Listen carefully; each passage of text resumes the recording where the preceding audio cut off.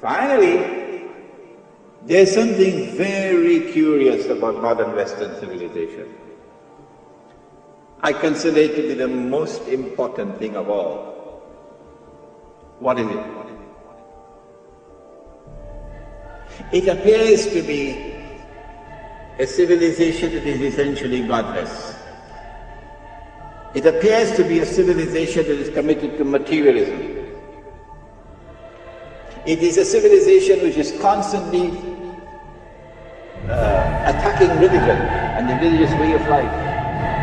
And as a consequence of that war on religion, religion is in a state of decline around the world today. Yet, the reality is that modern Western civilization has come into being as a consequence of a reconciliation a curious reconciliation, a rapprochement between some Christians and some Jews.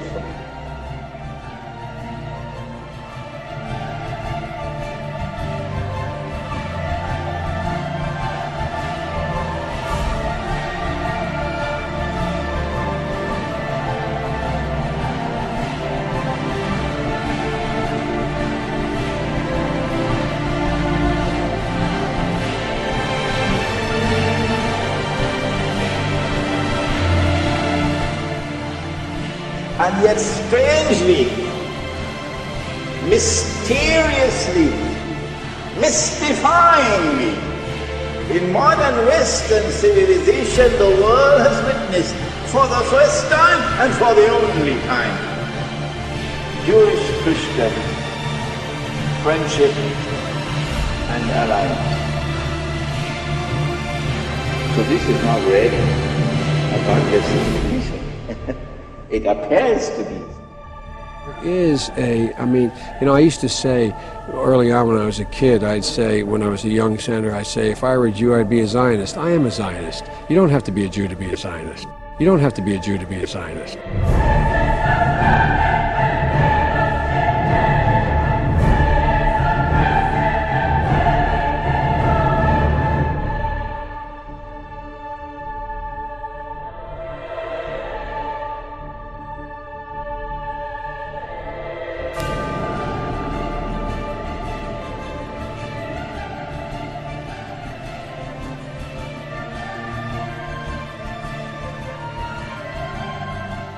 So what, you, what brings you to Christians United for Israel? Well, I, I was in on the ground floor. I, I worked with John and Diana Hagee for many, many years on many different projects.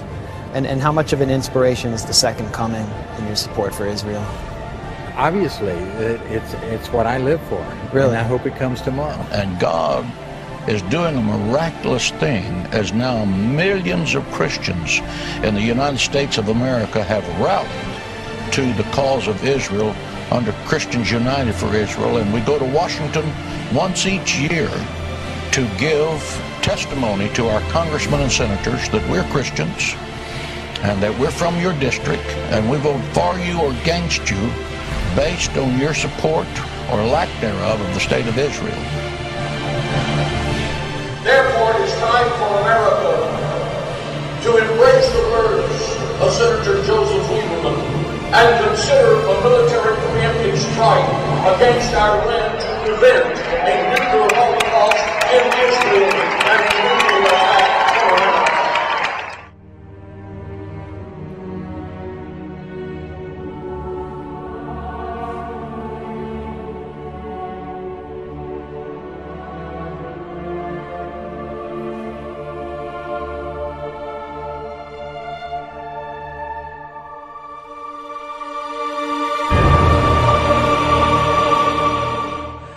Um, I have a deep sympathy for the Jewish people.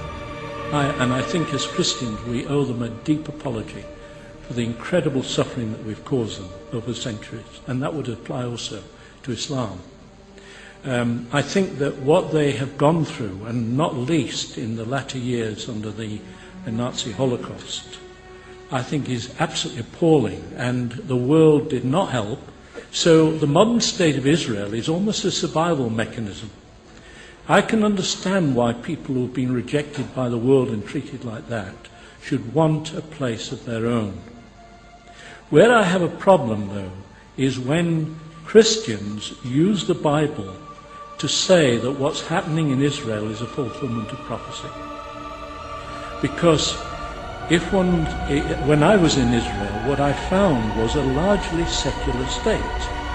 When you look at the way it operates vis-a-vis the Palestinians, you have to say it's founded on injustice and unrighteousness and cruelty. Now, if you're going to call that the fulfillment of prophecy, it has to be founded on righteousness.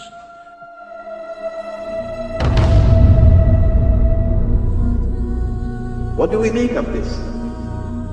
If that was the end of the story, that is already strange enough, but there's more to come.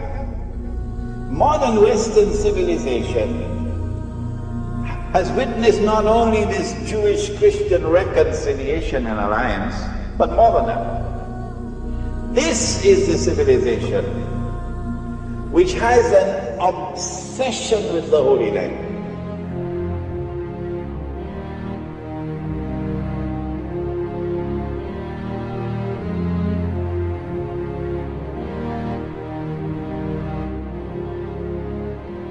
But they also believe that history is going to event, end with events which will unfold in the Holy Land. As a Christian do, as a Jewish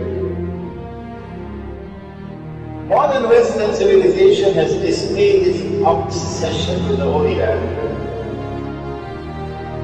In many instances in history, how do we explain, for example, Britain? A secular state. 1917, and the British government issued the Balfour Declaration. What does it say? That the British government will work for the establishment of a Jewish national in the Land.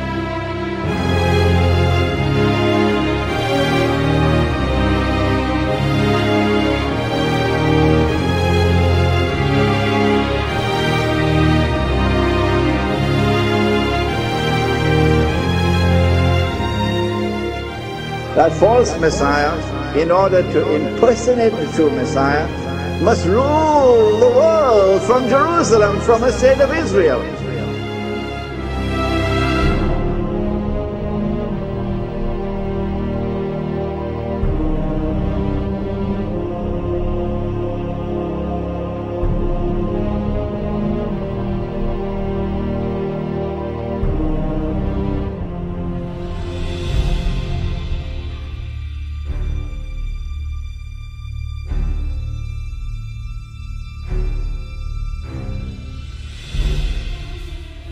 It is modern Western civilization which presided over the return of the Jews to the Holy Land.